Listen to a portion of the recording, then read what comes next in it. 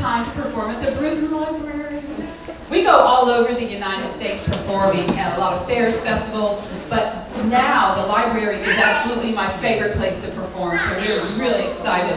Now, everywhere I go, people always say, you know, you have some beautiful doggies there. And I always say, yes, thank you. I think they're beautiful. But these are not just any doggies. These are my babies. Oh yeah, they are spoiled. They've got the run of the house, and all of them are sleeping up in the bed with Mama. So I got that nickname, Poodle Mama. So I'm going to say, hey everybody, and you're going to say, hey Poodle Mama. Are we ready? Hey everybody. Hey! Mama! They said, hey Poodle Mama, now I can introduce the babies. I'm going to start with the girl. She is four years old. She's been performing since she was six months old. Her name is Tallulah Jane. And next I have the character of the group. He's the comedian and sometimes the troublemaker, but he gets away with a lot because he's so darn cute and his name is Apollo and he is eight years old. And now I have the big boy. He's 11. And as you can tell, he loves his kibble and he'll do anything for a treat. He is my star. He's been performing since he was six months old, and he is Emilio, and I call him my rock and roll Emilio.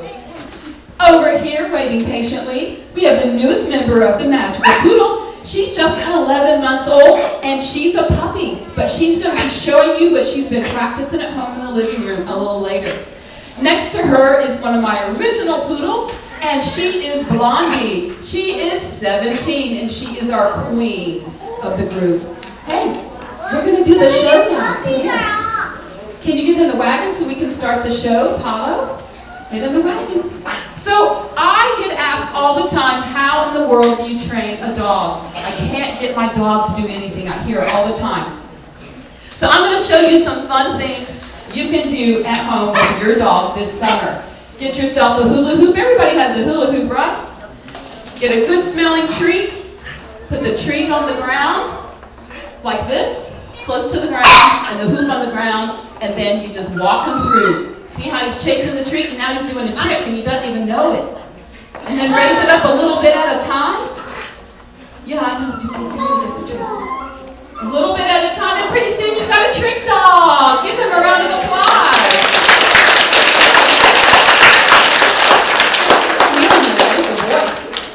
And now Apollo's going to demonstrate how we put two, trees, two hoops together.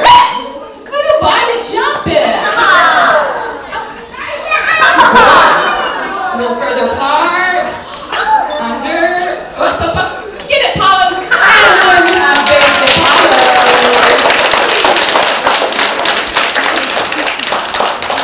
Tallulah Jane is going to show you, she used to be afraid of hoops.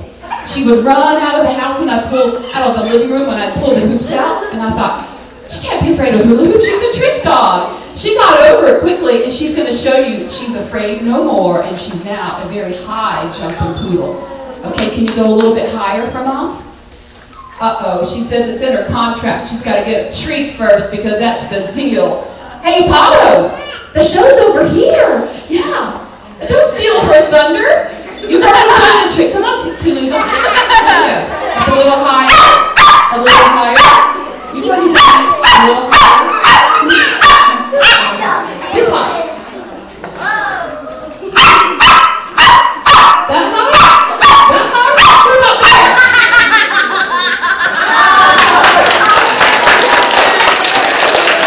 He's the comedian of the group. He's always trying to steal the show.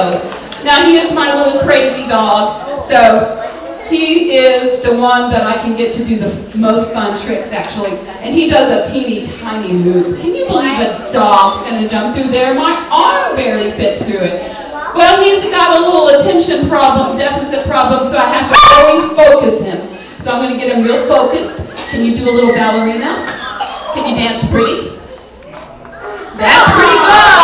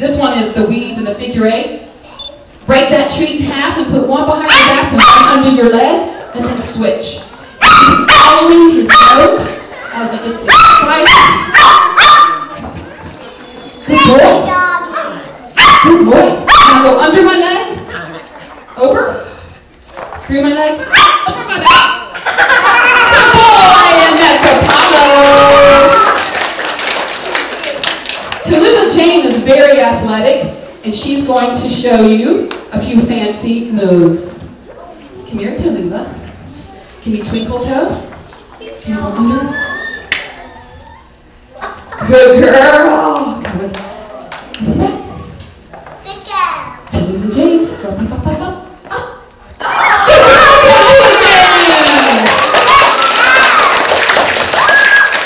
They keep me in shape. this is why to the gym, right? They are a lot of fun, and we always like to bring fun props with us. And you know, the circus is kind of disappearing a little bit, so we decided to bring a typical circus prop with us. You might have seen poodles in the circus, and this is the circus barrel. Who wants to demonstrate? Apollo, would you like to? Would you like to demonstrate, Apollo? Hey, right here. Good boy. Tallulah? Come here, Tallulah. TJ.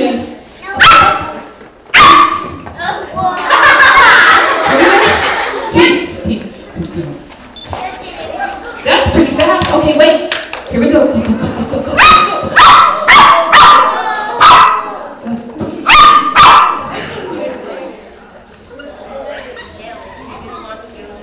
Hey, can you do it now? Oh yeah! The magic of the trees, right? They learn real fast. Okay, can you go through the barrel this way? Hey, one more time. Come on! Don't don't cheap out on me. Oh no. Come on. And back this way. And there's the barrel by Tallulah and Apollo. Always trying to get his way. It works sometimes. Oh yeah. Good boy.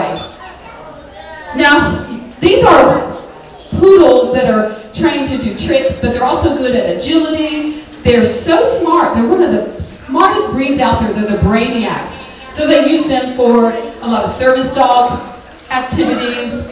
And they also, you can see them sometimes even in search and rescue because they have a really great working brain. Now, I have a dog that's so smart, he has a fire safety routine. Now, we never play with matches and lighters because you can catch on. Emilio is going to demonstrate what you do if you catch on fire. What do you do? You stop, drop, and you roll till you put yourself all the way.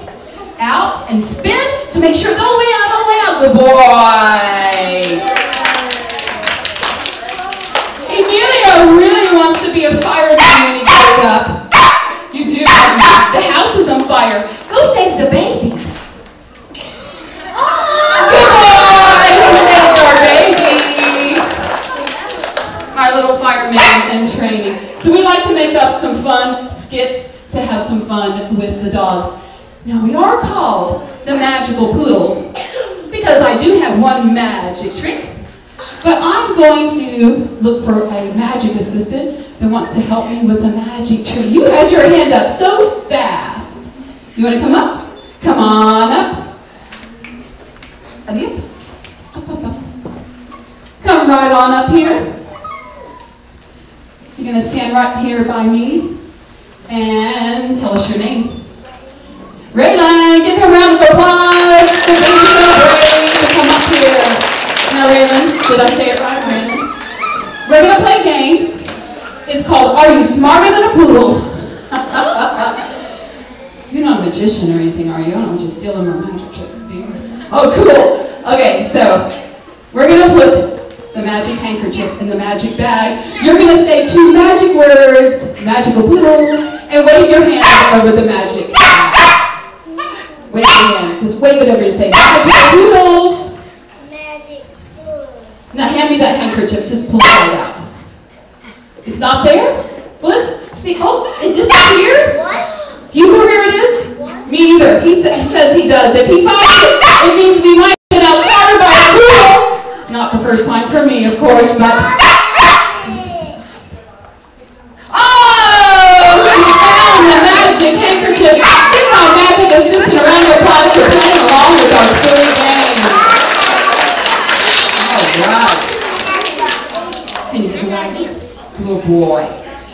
Was a lot of fun. Now, you know, we do have to travel a lot, and sometimes we have to eat fast food. That's okay every once in a while. But I also like to give the dogs really nutritious snacks. You know what their favorite snack is at home? Sweet potatoes. Can you believe it? I know. They had one this morning for breakfast. Their second favorite snack is raw carrots. Me too, but I like mine with a little ranch dressing on the side. So we bring along some carrots for them to show to choose a healthy treat. Can you give me a carrot? It's okay. Can you give me a carrot? Good girl. Can you go get me a carrot? You have to get it out with a pail. Can you give me a carrot? Okay. Apollo, can you go get me a carrot? Get me a carrot. Give me a carrot. I guess he wants a tree. Give me a carrot. Go get the carrot. Get the carrot. He wants a tree. All right, you need to pull it out of the bin. You gotta pull it out. Yay, there you go. A lot of patience with these dogs. A lot of patience, a lot of love, and a good smelling treat. That's right, we take our time, they're never forced, we always like to make it fun. And I want to encourage you to try to do a few of these simple tricks with your dogs, because but the more you do with your dogs, the happier they are. A happy house is a happy dog, and vice versa. So I have a dog who's not so happy right now because she wants to come show you what she's been practicing. So we're going to let the baby come out and showcase a few tricks. Everybody, may give a warm welcome to 11-month-old baby Seven. Now she's just a puppy, so she's still in training, but she wants to do everything her big sister does. So she's really competitive. And she's going to show you what she's been learning. Okay, seven. Go under mom's leg and over my leg. Girl. Through the arms and back. Again. Good girl. Pretty good a puppy. And now we're going to let her go through some hoops. We're going to go through the hoop. Go. And back. And up. Good girl. Now we're going to pull out the big hoop. Under mom's leg, through the hoop, and back. Come on, Sam.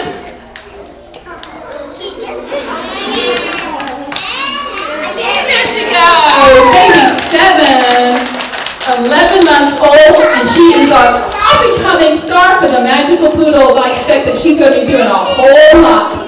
Yes, that's a good girl. That's a good girl. You go keep Sissy company. Now here I have the girl who was one of the original Poodles, who actually started a lot of this. Can you get back in the wagon, Grandma? You want to get up in there while I talk about Sissy? It's her nickname. Her name is Blondie. Now, one thing I want to tell you about senior dogs is it's really important to keep them active and keep their brain working. And so if they can't go for long walks anymore, you can bring them out and let them socialize with people. And this girl is so funny. She still wants to do tricks and she comes into the living room when we practice. Like, hey, wait, you're not starting the show without me. So I let her do a few simple things to keep her mind and her body working. Go, Blondie. Under. Adios. Hop. Blondie. Hop. Good girl. That way she has to use her brain. Okay, you want to do this one? Go through. Hop. Hop. Good girl. And back this way. Back this way. She's always done that. She has one direction she likes. What do you think about 17-year-old queen of them all, the running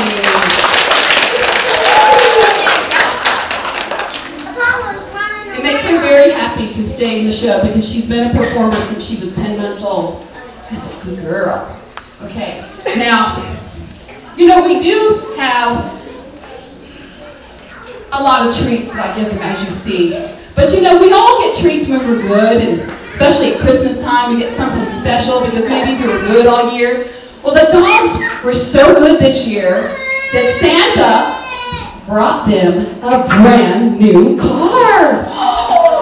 Now, Tallulah Jane loves to take a ride in her car, but Apollo has to push her because she gets to put gas in it. Let's take Tallulah for a ride in her car.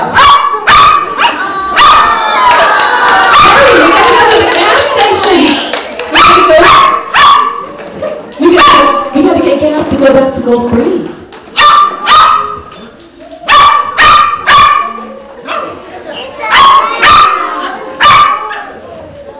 Come on, we gotta go back to Florida. Hurry, push a little harder. We're almost there, we're almost there. What do you think about Apollo giving his girlfriend a ride in their brand new car? Oh yeah, we have a lot of fun. They're not only fun, they also excel at a lot of dog sports. One thing is agility. And you know, you can make this simple agility crop at home out of just some simple pipes that you find at the hardware store. And then you probably have a couple of these laying around your house. And now you have a little mini agility set to have fun with your dog at home. Make sure if you make this one, that this bar comes off real easily so that they do not trip on it. Okay, now you gotta go through the tunnel. And now over. Good boy! Tallulah Jane, you wanna demonstrate? Move. Well, that's pretty good, but you gotta go through the tunnel. You're a cheater!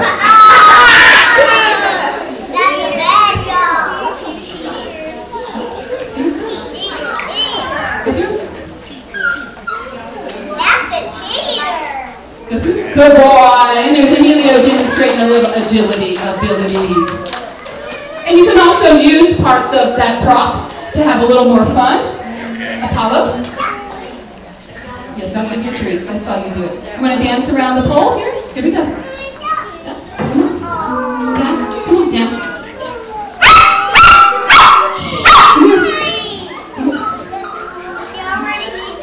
Good boy. Okay, now come over here, Apollo. Boy, under. You're gonna go a little higher. You go a little higher. And now we're gonna go really high, Apollo, really high. Can you go that high? Wow! So you can use your props to have a lot of fun and just use your own little style and put your own little spin on it. Now, we also love to get the kids involved. Yes, we do. Now, I'm going to choose a few kids that want to be animal trainers for a day. You want to come up and help me? Come right over here.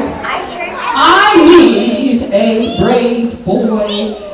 Hey, you want to come up?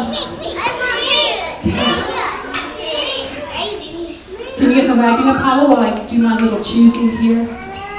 Okay. And I need another brave girl. You're going to be a hoop holder. Okay, scoot down, scoot down. You're going to hold a hoop. You're going to hold a hoop. You're to hold a hoop. Come right over to here. You've been raising your hand like crazy. You want to come up? Can you hold a hoop? I hope you can hold a hoop. You're not a, you're not a like performer or anything, are you? You're not to show me up. Yeah, good. All right, just checking. Okay, you're going to hold those hoops with one hand and you're to flip your wrist just like that. Okay, you're going to get on your tummy. Where's your tummy? All right, you found your tummy. Now get on your tummy with your head there and your feet there. Oh my gosh, he's trainable. Okay, on your tummy. Okay, now I'm going to see just how tra- we're done. We're done with the volunteers right now. We're going to find out just how trainable they are. Okay, are you ready? Roll over. They did it! Oh my gosh! I'm messing with you. Get back on your on your on your tummy. I'm messing with you. I really am. Okay, get close together, side by side. That's pretty good. You're pretty trainable. Good boy! Good girl! Treat. I'm kidding, I'm kidding. Okay, what we're gonna do is the dogs are gonna jump over you and through the hoops and back. You're okay with that, right? If they walk on you, don't worry, they don't weigh much. What's your name? We're gonna find out who you have. Cheyenne. Justin. Say it really loud into the mic. Copeland. And Summer. Summer, give my animal trainers a round of applause. You go exploring? You did, didn't you? Uh-huh. I saw you. Yes, he's a mischievous one. Okay, Apollo, okay, scoot together, scoot together. Come here, Apollo. Over, through the hoops.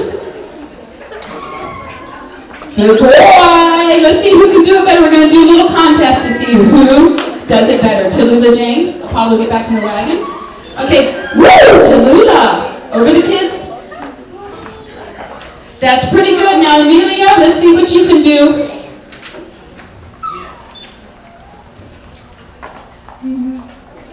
Put a little spin on it. I like your style. Hey, let's see if the baby wants to do it. We've never let the baby try in a show, so maybe we can get the baby to do it. You think we can? Okay, make sure those hoops are really low for the baby. Okay, let's see if we can get baby to do the trick. Okay, here, seven, go. Go. Go through the hoop. Go through the hoop. And back. And over. Oh my goodness. Through the hoop. And back. What is you,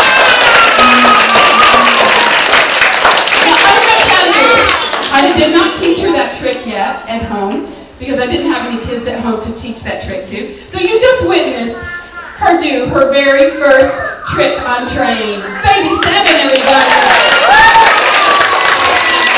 Good girl. Oh yeah. That's a good girl. Okay. Now who do you think did it the best? Which dog? Who won? Baby seven won the contest. Give baby seven a round of applause. Hold hands. Face the audience. Take a bow. You're in show business now. Thank you, my animal trainers for a day. And that's a really fun thing you can do at home, at a backyard birthday party or summer picnic, to have some fun with the kids and the dogs.